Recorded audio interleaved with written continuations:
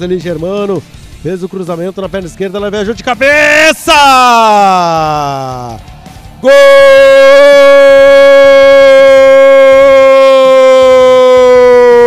Douglas tentou ali a puxeta. Ela tá viva ainda dentro da grande área do Tupi. Olha o toque. JP9, Vacaria bateu. É gol! Pé de ferro. Sobrou para o Jô. De frente pro gol. Ainda Jô na perna direita. Puxo. Vem na cobrança de falta o Glória, bola pra área, sobrou no toque, o goleiro pegou! O corpo procura uma opção, desafogou lá no lado direito onde está colocado o milanês. Será que vai experimentar dali? Chutou de longe. A bola rebateu na defesa, sobrou lá pro Roger na ponta direita. Lançamento Mano, curto pra fazer a cobrança. Perna esquerda na bola, lá no segundo poste, o toque de cabeça! O Marcão tava ali pra. Domina.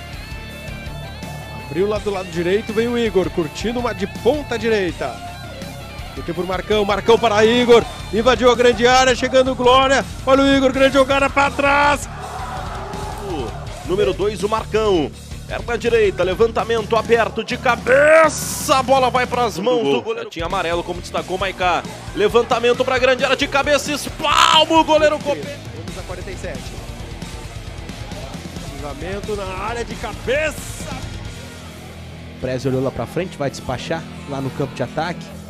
Disputa pelo alto, chegou cortando o Igor. de partida. Maurinho, perna esquerda, o toque chega afastando a defesa lá o Igor. Corrupilha, dentro da grande área, deu o corte pro meio, vai fazer o cruzamento.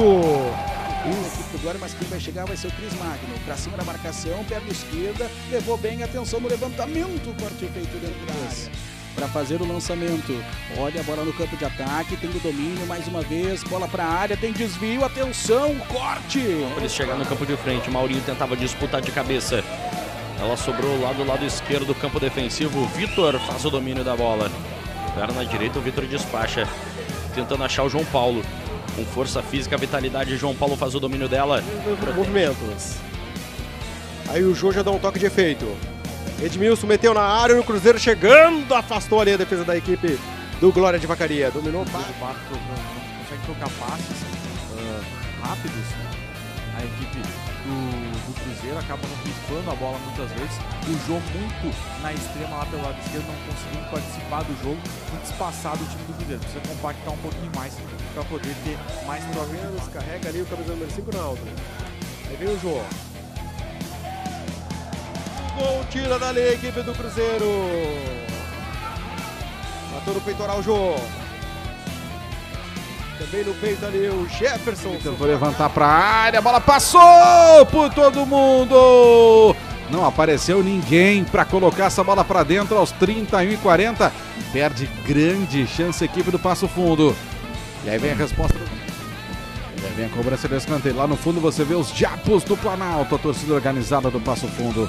Olha a bola na área, tenta de cabeça. Ele mete esse golaço 1 a 0 pro Glória aos 25 do segundo tempo. Olha, um golaço realmente, um resultado importantíssimo que o Glória vai conseguindo dentro do seu companheiro, Marco Antônio na perna direita, levantamento da grande área, ela viajou de cabeça, ela tá viva, vai bater, bateu em cima, atuou no peitoral, chapelhou ali, deu bobeira, ela tá viva, bateu ali, o Lucena domina no pivô ali, o Eric já abriu lá do outro lado, chegou no atalho, sai jogando a equipe do Glória. Fez o lançamento, forçou demais. Ficou muito bonito disso de passagem, né? O moderno chama a atenção. Eu, eu particularmente gostei muito.